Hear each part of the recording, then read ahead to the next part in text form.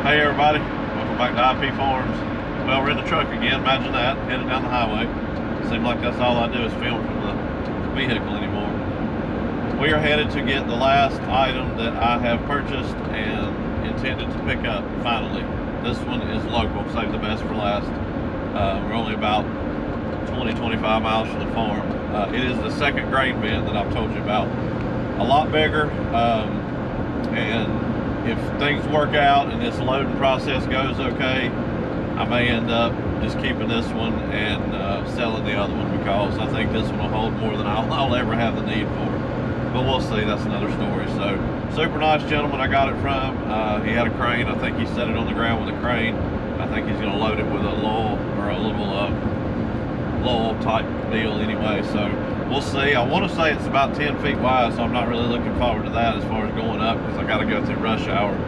Uh, but hopefully it won't be too bad. Just left the daily, so I'll bring it along for a little bit of load, and we'll see what happens. So stay tuned.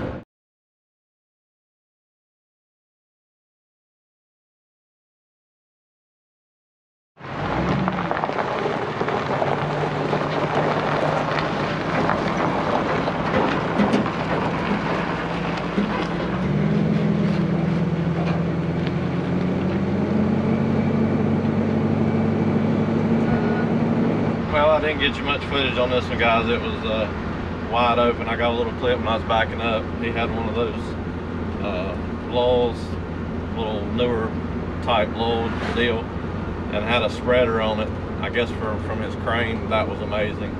Uh, they're not heavy, they're just awkward, so I guess, uh, I guess unfortunately this one's probably going to end up staying on the trailer for a while because until I rent one or find somebody with a boom truck, I don't think I'm gonna be able to get this one off. Um, which I knew that ahead of time. That's one reason why I saved this one to last because I don't really have anything uh, big that I need to go get with a big trailer. So um, we'll see. We'll see how things go. Um, I'll bring you back when we get to the farm. We'll go over a little bit more and go from there.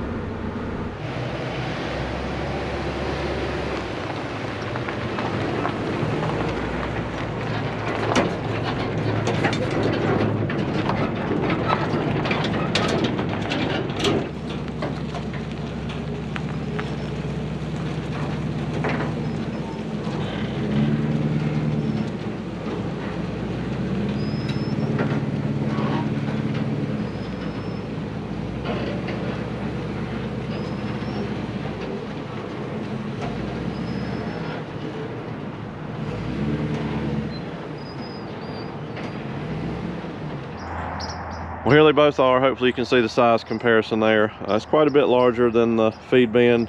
Uh, I think it's considered an upright silo maybe, but trip went well. Uh, can't complain about being that close. Pennies on the dollar, of course. So I'm not sure what I'm gonna do from this point. Um, got a lot of thinking to do. I might have mentioned in the first part of the video, but I very seriously doubt that we wind up with both of them uh, upright. So got some decisions to make, but we get down here in the shop, we've got a little bit more light and uh, we'll just wrap this one up as another short one, guys. We're gonna wrap this one up in the shop. It got dark on me outside. Uh, hopefully you enjoyed it. Wasn't a whole lot. I wish I'd got more footage of loading it, but when somebody's doing you that big of a favor, you don't ask them to put their time on hold for you to set up a camera. He has a very substantial business and he, you know, did me a huge favor. Um, few clips coming in here or there. Hopefully you can tell the difference between them. I'm not sure what the future will hold for the grain bin situation. You know, pennies on the dollar, buy it cheap, sell it steep. The profit margin is very substantial on the feed bin itself, the smaller of the two. So if I had to guess, I would say that will get the axe. Um, you know, I can't keep that much uh, material, grain, crop, whatever you want to call it, um, from going bad with no air systems in that. You know, if I had a, a regular floor bin, as I call them. But I do have a small uh, system I've got sketched out that I think I can make work on the bigger one better than I can on the smaller one. So, you know, that'll all be in the future. But got a lot coming down the ladder, a lot of projects coming up. I think the road trips are going to cease. Um, I can't really get anything else on the trailer until I figure out how to get that off. And I don't have anything, nor my cousin does, to get that off. So we'll see what happens. I'm going to have to rent a Lowell, I know that. But uh, hopefully you guys enjoy it. Like I said, thank you for everything uh, you do continue to follow on the journey with me here. I might slow down a little bit on the videos for just a little while. I don't want to make too much repetition on the same old, same old just to be putting out a video. Um, you know, if you guys enjoy it, I appreciate that. If you don't, I totally understand, but we'll see what happens. And uh, I'll keep you posted on anything that goes on here at the farm when it does. Until next time, thank you.